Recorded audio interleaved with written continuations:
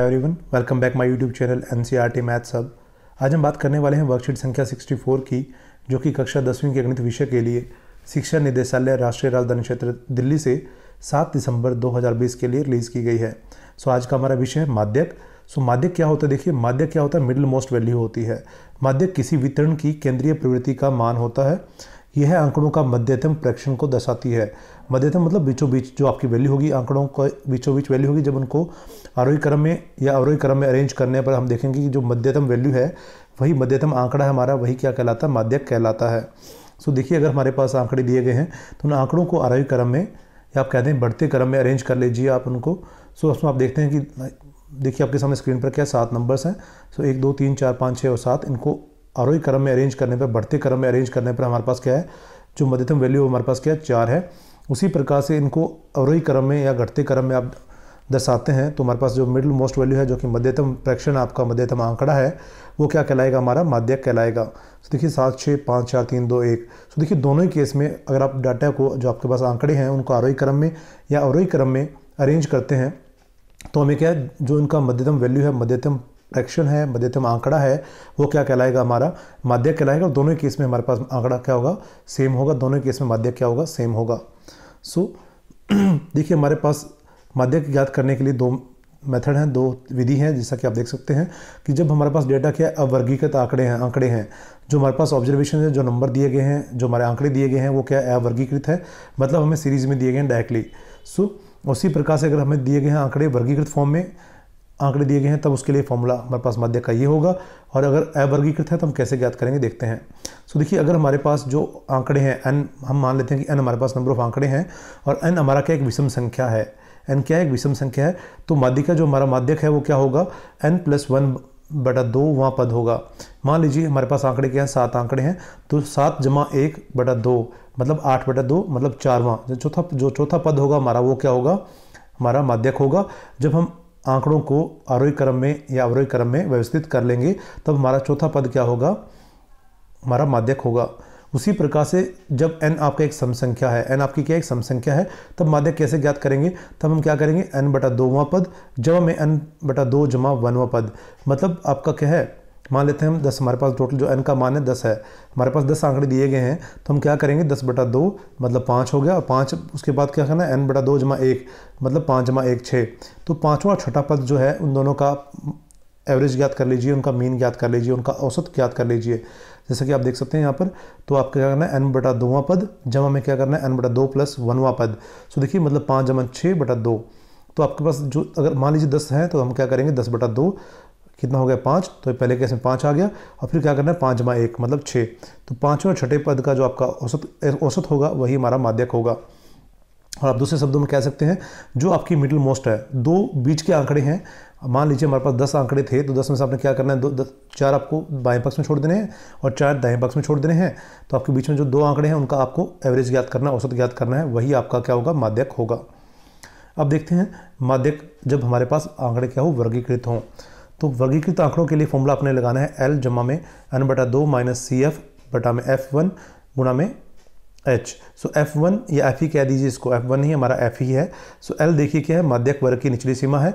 N आपका प्रेक्षणों की संख्या है जिसको हम समीशन ऑफ़ एफ़ आई भी बोलते हैं, जब हमने माध्य ज्ञात किया था। सो सी एफ़ क्या है, मध्य वर्ग से पूर्ववत वर्ग अंतराल की संचयी बारंबारता है। एफ़ आपकी क्या है, मध्यक वर्ग की बारंबारता है और एच आपका वर्ग माप है। जो कि क्लास हाइट है, जो वर्ग अंतराल है, उसका जो आपकी ऊंचाई है, उनका अंतर है, वो हमारे पास है एच है।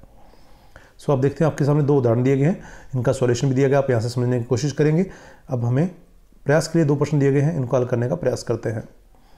सो देखिए, पहला प्रश्न आपके सामने स्क्रीन पर है। यदि दिए गए वितरण का माध्यक 32.5 है तो अज्ञात बारंबारता F1 और F2 ज्ञात कीजिए। सो हमें देखिए, माध्यक पहले से ही दिया गया जो कि 32.5 है। और हमें वर्ग अंतराल दिया गया ज़ीरो से दस दस से बीस बीस से तीस तीस से चालीस चालीस से पचास पचास से साठ साठ से सत्तर और हमें टोटल भी दिया गया है।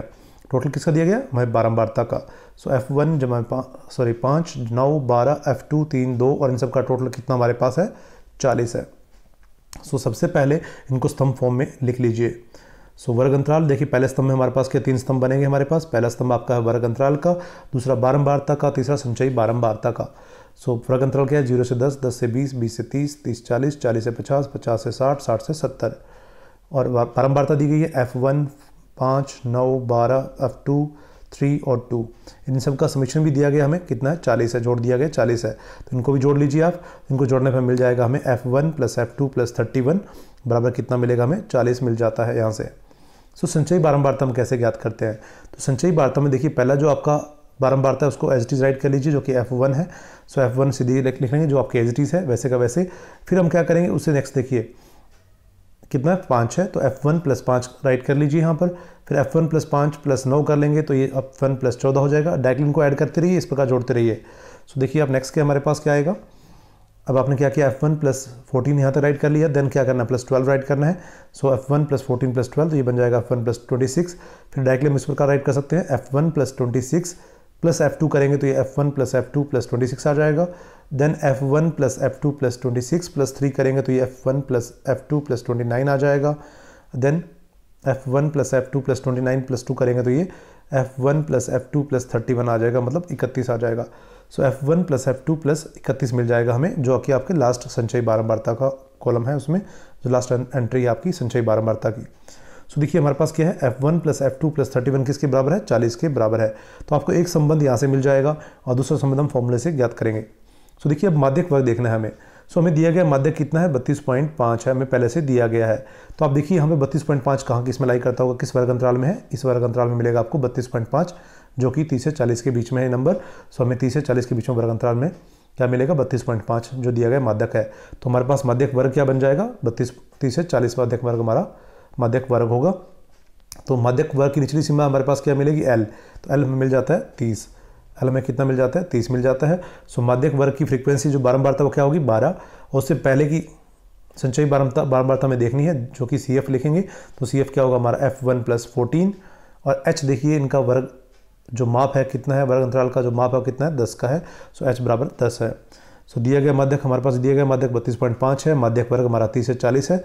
सो एक क्वेश्चन में मिल जाता है F one plus F two plus thirty one बराबर चालीस। So F one plus F two कितना हो जाएगा? चालीस माइनस इकतीस। अब F one plus F two बराबर कितना हो जाएगा? चालीस माइनस इकतीस बराबर नौ। तो एक संबंध आपको यहाँ से मिल जाता है, एक समीकरण मिल जाता है आपको यहाँ से। अब एल हमारे पास क्या है? माध्यक वर्ग की निम्नतम सीमा तीस है।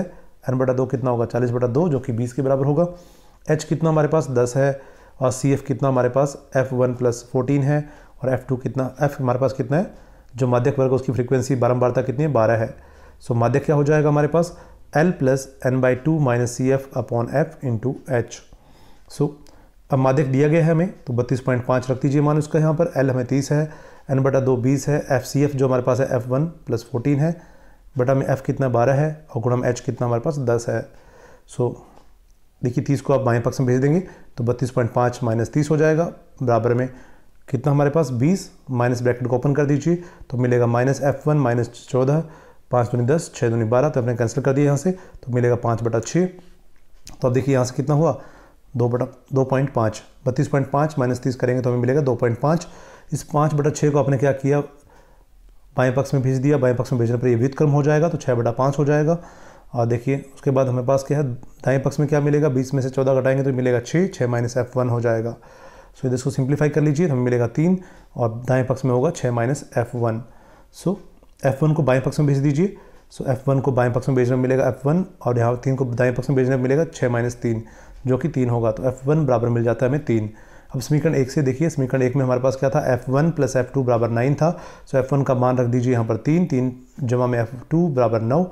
सो एफ़ टू क्या हो जाएगा? नौ माइनस तीन बराबर छः। तो एफ़ टू मिल जाता है छः। अतः एफ़ वन बराबर थ्री है और एफ़ टू कितना हमारे पास? छः है। तो यही था आपका पहला प्रश्न अब देखते हैं प्रश्न नंबर दो।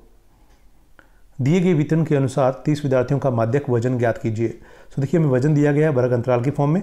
जैसा कि 40 से 45 किलोग्राम वज़न है, ऐसे कितने विद्यार्थी? दो हैं 45 से 50 किलोग्राम वज़न वाले कितने विद्यार्थी हैं? तीन हैं। 50 से 55 आठ हैं 55 से 60 छः हैं 60 से पैंसठ, छः हैं और पैंसठ से 70 तीन हैं और 70 से पिचहत्तर, दो विद्यार्थी हैं। सो वर्ग अंतराल में देखिए, सबसे पहले आप राइट कर लीजिए उनका वज़न, जो कि है वर्ग अंतराल के फॉर्म में। सो वज़न आपका 40 से 45 45 से 50 50 से 55 55 से 60 60 से पैंसठ पैंसठ से 70 70 से पिचहत्तर। विद्यार्थियों की संख्या दो, तीन, आठ छः छः तीन और दो है।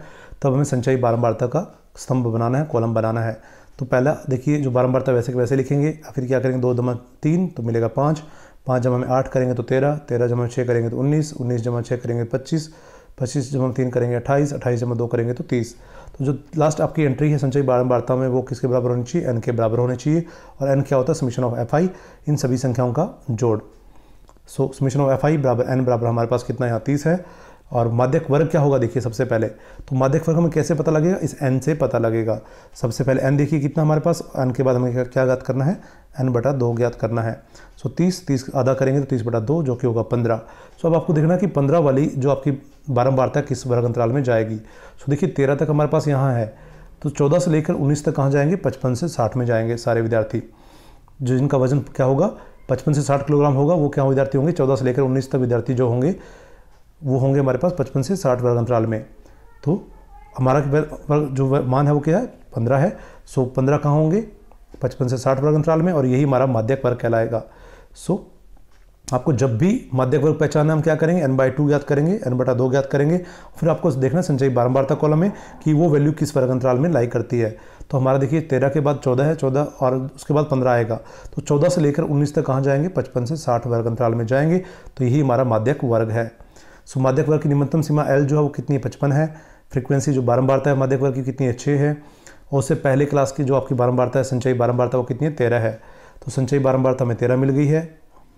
बारंबारता छः है और निम्नतम सीमा पचपन है माध्यक वर्ग की।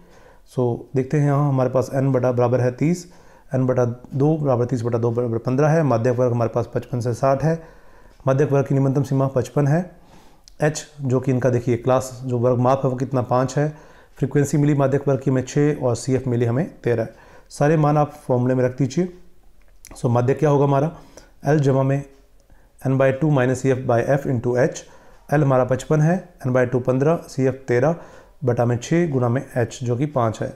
सो पचपन जमा में पंद्रह माइनस तेरह करेंगे दो दो बटा छः जो कि एक बटा तीन होगा सो पाँच बटा तीन सो पचपन जमा में पाँच बटा तीन क्या होगा हमारा एक पॉइंट छः सात सो पचपन जमा में एक पॉइंट छः सात को हम लिख सकते हैं ऐड करने पर fifty six point six seven छप्पन पॉइंट छः सात लगभग सो अतः तीस विद्यार्थियों का जो माध्यक वज़न है लगभग छप्पन पॉइंट छः सात किलोग्राम है और यही था प्रश्न नंबर आपका दो So this is all about worksheet number 64. So if you learn from this video, then please do subscribe my channel and share this video as much as you can. Thanks for watching.